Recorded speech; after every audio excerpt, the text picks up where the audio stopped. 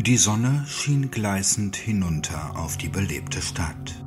Normalerweise traf ihr Licht auf alle Arten von Farben und Dingen, erhellte das Leben der Reichen und schuf die Schatten, die das Leben der Armen zu verschlingen drohten. Doch wie jedes Jahr gab es diesen einen Tag, an dem dieser Effekt nicht zum Tragen kam.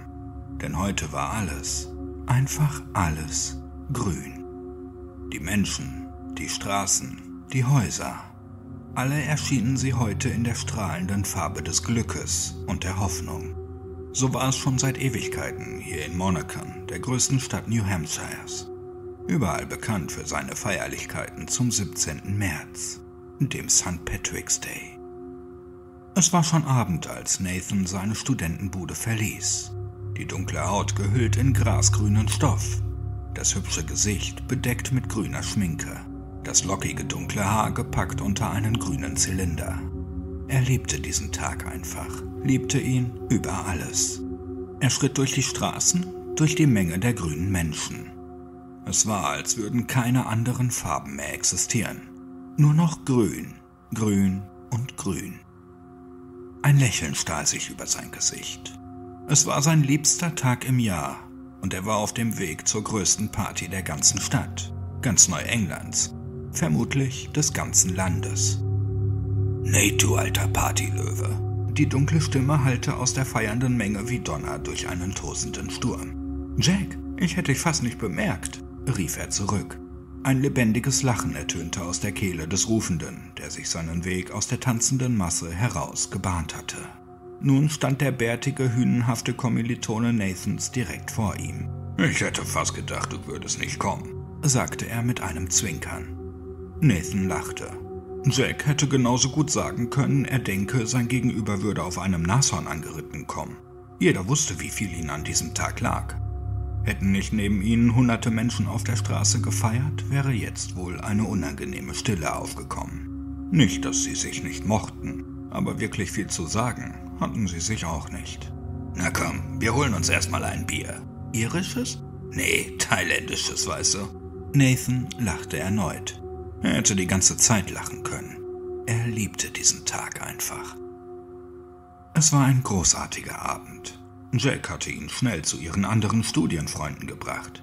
Sie hatten getrunken, getanzt, mitgegrölt, einfach nur Spaß gehabt. Die Nacht war eingebrochen, doch es hatte niemanden interessiert. Auch ihre Dunkelheit hatte das Grün nicht vertreiben können. Es war, als wären die Gesetze des Universums für einen Tag ausgehebelt. Jeder wollte, dass die Nacht ewig hielte, um diesen Moment nie enden zu lassen. Doch es war spät geworden und mittlerweile schon wieder früh. Immer mehr Leute waren gegangen, immer weniger gekommen. Mittlerweile war niemand da, den Nathan auch nur im Ansatz gekannt hätte, aber er würde bis zum Ende bleiben, so wie es jedes Jahr war. Doch irgendwann war die Musik verstummt, die Straße immer leerer und das Grün nur noch die verdreckte Erinnerung an etwas, das so surreal schien, man konnte kaum glauben, die letzte Nacht wirklich erlebt zu haben. Er saß auf dem Bürgersteig und nippte an seinem warmen Bier. Resigniert ließ er seinen Blick über die Szene wandern, sah all die grünen Banner, gezeichnet vom bräunlichen Dreck hunderter Schuhsohlen. Die Welt war wieder normal und die Nacht gewann ihre alte Macht zurück. So glaubte er zumindest. Doch dann sah er sie. Sie befand sich etwas abseits der Straße auf einer Parkbank. Sie war so sehr Teil der Kulisse und stach doch so heraus. Sie war grün gekleidet. Ihre blonden Haare waren durchsetzt mit grünen Strähnen und ihr weich geformtes Gesicht trug noch den verblichenen Ausdruck von grüner Schminke. Sie war wie jeder andere hier auch und gleichzeitig auch so anders. Sie schien wie eine Laterne durch das schmutzige Grün, das nun die Herrschaft über die Stadt errungen hatte. Auf ihren Kleidern fand sich nicht der kleinste Fleck Schmutz, und ihre Augen strahlten eine Lebhaftigkeit aus, als würde sie jedes Detail um sich herum mit purer Begeisterung wahrnehmen. Sie war wie ein Leuchtturm der Freude in diesem farblichen Bruderkampf. Noch bevor er sich entschieden hatte, was zu tun war, stand er schon und ging zu ihr. Er wusste nicht, warum er es tat. Hatte er seinen Beinen diesen Befehl gegeben? Wollte er das wirklich? Eine Fremde ansprechen, wo doch die Müdigkeit seinen Kopf regierte? Das war völlig unwichtig, denn er stand schon vor ihr. Mehr aber auch nicht. Er stand dort, zur Salzsäule erstarrt, unfähig auch nur ein Wort zu sagen. Ihm flogen tausende Dinge durch den Kopf, doch seine Zunge weigerte sich auch nur eine davon über sich ergehen zu lassen. Er sah sie einfach nur an. Und sie ihn. Er blickte direkt in ihre azurblauen Augen, so schön wie der Ozean und ebenso unergründlich. Selbst hier glaubte er noch einige grüne Sprenkel zu erkennen. Er hatte sich in ihrem Blick verloren, wie ein Kind in einem dunklen Wald. Kommt da noch was oder willst du nur gruselig gucken? riss ihn eine Stimme aus den Gedanken. Er brauchte kurz, um zu erkennen, dass es ihre war. Ähm, äh, also ich persönlich mag Smarties ja mehr. Sie lächelte. Er sah sie nur verwirrt an. Na, als M&Ms. Er sah sie noch kurz an. Dann fiel der Groschen und er musste lachen. Ich bin Nathan. Ich bin Luna. Er wusste nicht, was er nun sagen sollte. Ihm fielen die Worte einfach nicht ein. Ich hätte da eine Idee, sagte sie, um die Stille zu durchbrechen. Du überlässt das Reden besser mir. Es war unglaublich. Sie war unglaublich.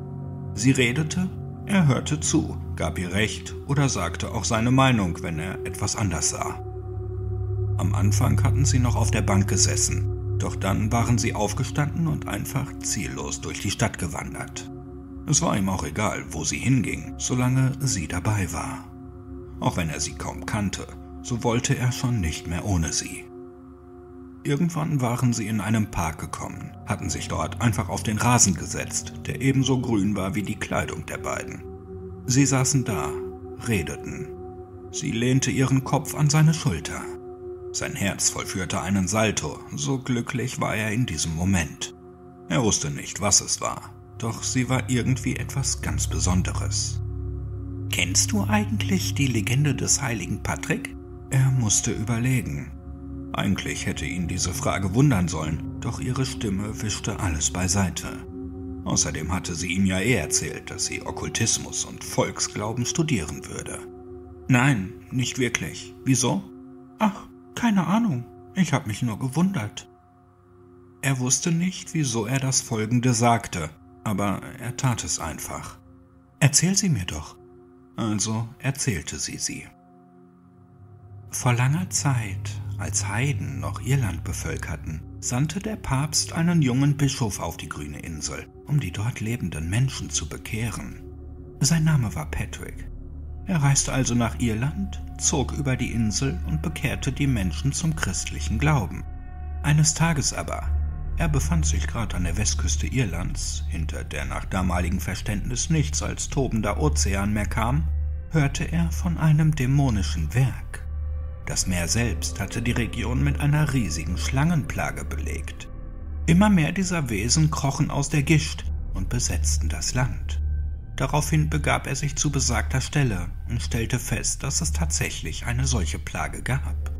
Doch er war ein gottfürchtiger Mann und glaubte, ein Wesen der Hölle sei den tosenden Fluten entstiegen, wie es einst auch Satan getan haben soll. Er begab sich also zu einem Berg und begann zu seinem Gott zu beten, er möge ihm helfen, diesen Fluch zu besiegen. Da hatte er eine Vision. Ein Mädchen, eine Tochter des Teufels, war aus dem Meer gestiegen und suchte nun das Land heim, mit dem Ziel, diese äußere Bastion der Menschheit zu vernichten. Doch er sah auch, wie er sie besiegen konnte. Er ging hinaus an die Küste und schrie gegen das Meer, es solle die Dämonen freigeben auf dass sie einen fairen Kampf um das Schicksal Irlands führen könnten. In ihrem unendlichen Hochmut stieg die Tochter Luzifers aus den Bogen und stellte sich tatsächlich der Herausforderung. Sie trafen sich auf jenem Berg, und er war zum Kampf gewappnet. Dieses Wesen begann sogleich ihn mit riesigen und vor Gift triefenden Schlangen zu bewerfen, doch er tat, wie Gott ihm geheißen, und durchstach die Schlangen direkt am Kopf. Ihre Leben waren mit dem des Mädchens verknüpft, und als er die beiden mächtigsten unter ihnen dahinraffte, sank das Mädchen hernieder. Irland war von den Schlangen befreit. Ihm stockte der Atem. Nicht wirklich von der Geschichte, mehr davon, wie sie sie erzählt hatte. Es hatte beinahe etwas Magisches an sich gehabt. Ihre Worte hatten ihn in ihren Bann gehüllt. Er sah sie an, sah in ihr hübsches Gesicht und glaubte fast, eine kleine Träne darin entdecken zu können. Also hatte die Geschichte ja sogar ein gutes Ende, sagte er. Aus Angst, ihre eigene Geschichte hätte sie vielleicht traurig gemacht. Nun ja, wie man es nimmt. Er brachte die Tochter des Bösen in das Dorf am Fuße des Berges, um den Bewohnern von seiner Tat zu berichten. Doch sie war noch nicht tot. In der Nacht, als alle schliefen, fuhr sie in den Körper von Patricks einziger Tochter. Seitdem ward sie nicht mehr gesehen. Aus Angst versagt zu haben, verknüpfte er ihr Dasein mit seinem. Nur an Tagen, an denen er lebendig wäre, sollte auch sie zum Leben imstande sein. Stille trat ein. Er wusste mal wieder nicht, was er sagen sollte. Er betrachtete einfach die grüne Idylle um ihn herum. Alles grün. In okkulten Kreisen nannte man sie, in Ermangelung eines Namens, einfach die Maid von Irland. Was glaubst du, ist aus ihr geworden? Er wartete auf eine Antwort. Doch die kam nicht. Stattdessen küsste sie ihn. Es war, als würde dieser Moment nicht vergehen. Ihre Lippen harrten aufeinander, als würden sie nie etwas anderes tun wollen. Doch dann war der Kuss vorbei. Es folgte ein zweiter und ein dritter. Er zog sie zu sich heran. Sie umfasste sein Gesicht. Sie küssten und küssten sich. Sie sanken ins Gras. Er ließ seine Hände durch ihr Haar fahren. Sie legte sich auf ihn. Sie küsste ihn noch einmal. Dann sagte sie, ich glaube, sie sucht sich neue Opfer, um wieder an Kraft zu gewinnen, an dem einen Tag, an dem sie die Erde betreten kann, da die ganze Welt den Heiligen zum Leben erweckt. Warte, willst du damit sagen? Sie küsste ihn wieder, inniger als vorher. Doch da war noch etwas anderes. Er spürte, wie sein ganzer Körper zu kribbeln begann. Waren es seine Gefühle für sie, die jetzt hochkamen? Nein, es war definitiv etwas anderes. Aber was? Er sah sie an, sah ihre wunderschönen Augen und entdeckte eine gewisse Genugtuung darin. Etwas Verschlagenes lag in ihrem Blick. Er wollte blinzeln, doch es ging nicht. Was war hier los? Er wollte etwas sagen, aber alles, was er hörte, war ein komisches Zischen. Sie stand langsam auf. Er wollte sie zurückhalten, doch er konnte seine Arme nicht spüren. Er wollte sich auch erheben, doch seine Beine merkte er ebenfalls nicht. Er sah sie an, sah, wie sie etwas sagte, aber er konnte nichts hören. Der Geschmack seiner Seele lag noch auf ihren Lippen. Sie sah ihn kurz an, dann nahm sie ihn hoch. Er war grün geworden. Wie sie diese Farbe hasste, die sie immer an ihre Niederlage erinnerte, an das Land, das sich ihr verwehrt hatte. Und doch war sie verdammt, nichts anderes als diese Farbe zu tragen.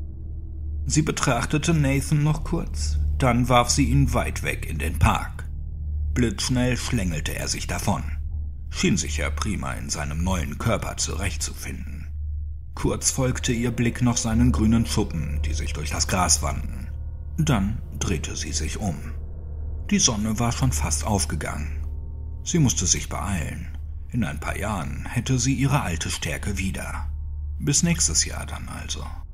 Mit diesen Gedanken machte sich die Maid von Irland auf zum Meer.